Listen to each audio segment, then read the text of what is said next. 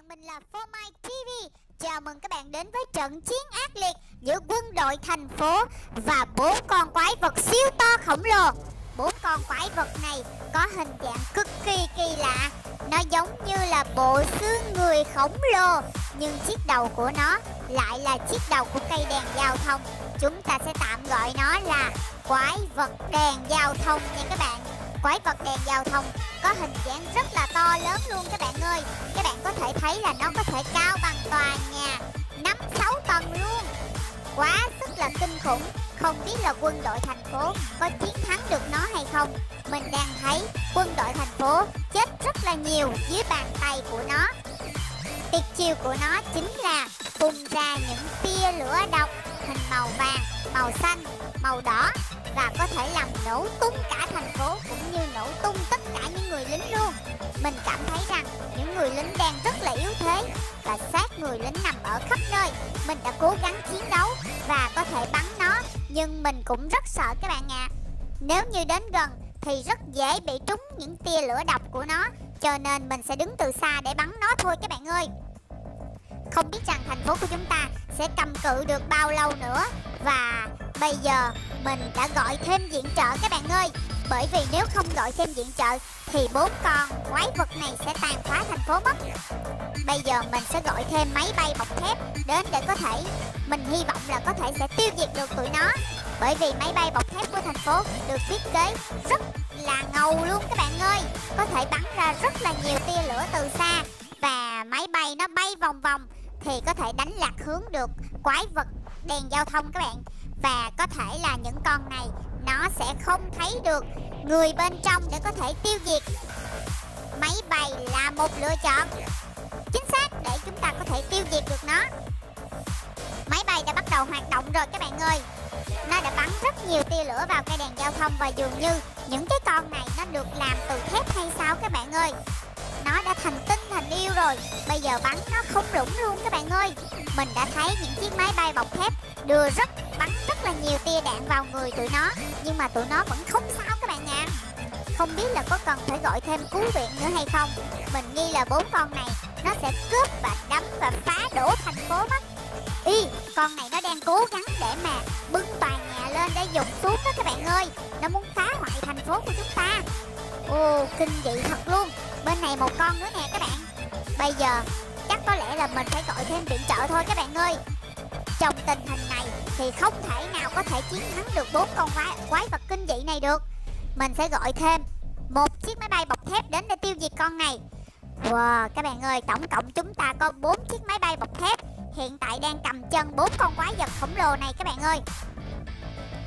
Bây giờ con này nó đang cố gắng nè phá hủy thành phố này. Nhưng làm như vậy rất là nguy hiểm bởi vì bên trong tòa nhà còn rất là nhiều người đang trú ẩn ở bên trong đó. Bên ngoài này chỉ toàn là quân đội và máy bay bọc thép chiến đấu với tụi nó thôi.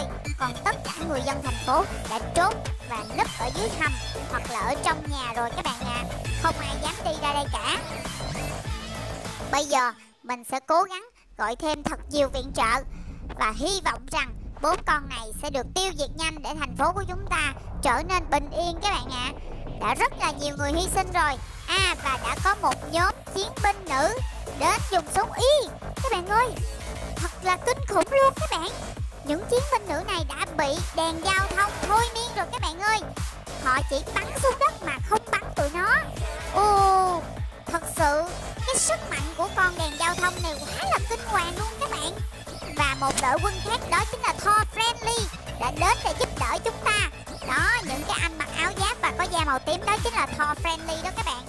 Những anh này chính là những chiến binh rất là thiện chiến luôn. Mình rất là hy vọng các anh ấy có thể tiêu diệt được bốn con quái vật kinh khủng này. Bởi vì thật sự bản thân mình khi ra chiến đấu mình cũng rất là sợ như các bạn. Ôi, thành phố hãy cầu nguyện cho thành phố. Dạ xin chào anh có vẻ như đội quân Thomas Friendly đã không cầm cự được rồi các bạn ơi. À, không biết có ai đến cứu giúp thành phố của chúng ta không nữa. Bây giờ thành phố đang chìm trong lửa đạn. Các binh sĩ nữ thì đang bị thôi miên Và các uh, binh sĩ Thomas Friendly thì đang cố gắng bắn thật là nhiều. Uh, Các bạn ơi! Wow! Người khổng lồ xanh đã xuất hiện. Hút đã xuất hiện rồi các bạn ơi. Không biết vì sao mà Hút đã xuất hiện. Hy vọng Hút có thể tiêu diệt được những cái con quái vật này Để trả lại sự bình yên cho thành phố. Ồ, nó đã phát hiện ra Hút Và con quái vật đèn giao thông này đã tiến đến Và khiêu chiến với Hút Ồ, Hút vẫn còn đang rất là bé nhỏ so với nó luôn đó các bạn ơi. Wow, nó phun những tia lửa độc vào Hút rồi. Hút đã tức giận. Wow, các bạn ơi.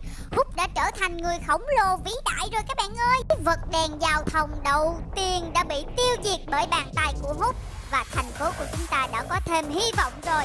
Ha ha ha. Có thể Hút sẽ tiêu diệt được ba con còn lại Bởi vì Hút rất là mạnh luôn các bạn ơi. Hiện tại bây giờ, thân hình của Hút đã siêu to khổng lồ Và bự hơn cả quái vật đèn giao thông rồi các bạn ơi ừ, Hãy chờ xem Hút sẽ làm gì để cứu vãn thành phố của chúng ta nha các bạn ơi. Wow, Hút đang tập trung sức mạnh của mình Và quái vật đèn giao thông nó cũng trông thấy điều đó. Có vẻ như nó đang sợ hãi Nhưng nó vẫn tiếp tục khiêu chiến. Ồ, Hút đâu rồi các bạn ơi? Wow, mình nghĩ là Hút sẽ... Ô, kìa, các bạn có thấy không? Hút đã bay qua bên đây và khiêu chiến với nó trở lại cái hình hài bình thường của mình rồi. Nhưng mà các bạn đừng lo nhé Bởi vì Hút có rất là nhiều năng lượng. Khi còn quái vật khiêu khích đến một mức độ nào đó Thì Hút sẽ dùng bật hết tất cả năng lượng của mình Để tiêu diệt con quái vật này các bạn ạ. À. u nó đá văng Hút đi xuống dưới hàng rào rồi các bạn ơi. Mình sẽ đuổi theo để xem cuộc chiến này ai sẽ là người chiến thắng nha. Ồ, không biết nữa. Mình rất là hồi hộp luôn các bạn ơi. Wow! Nó và Hút đã bị rơi xuống sàn rồi các bạn ơi. Nhưng mà có một cái tia lửa xanh đã xuất hiện. Wow! Hút đã bay lên thật là cao các bạn. Vậy là Hút đã chịu tập năng lượng của mình rồi, Yes! Và còn quái vật đèn giao thông thứ hai đã bị tiêu diệt bởi bàn tay của Hút Wow Hút quả thật là một người khổng lồ xanh bất bại các bạn ơi. Bây giờ chúng ta còn hai con quái vật đèn giao thông đang tác quài tác quái ở bên đây nữa. Và đội quân máy bay bọc thép của chúng ta đang giữ chân nó. Hy vọng là Hút sẽ đến đây và tiêu diệt hai con còn lại. Ồ, anh Thomas Friendly. Anh ơi, tình hình như thế nào? Ok, bây giờ em sẽ qua bên đây Để xem xem tình hình như thế nào. Ồ,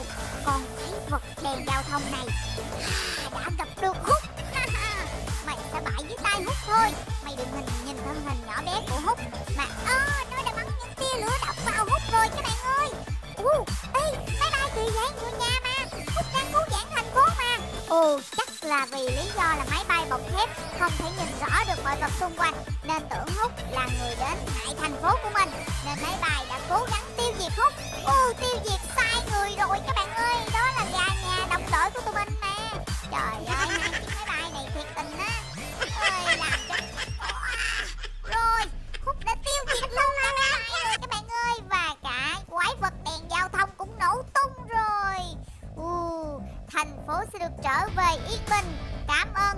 Uh, thành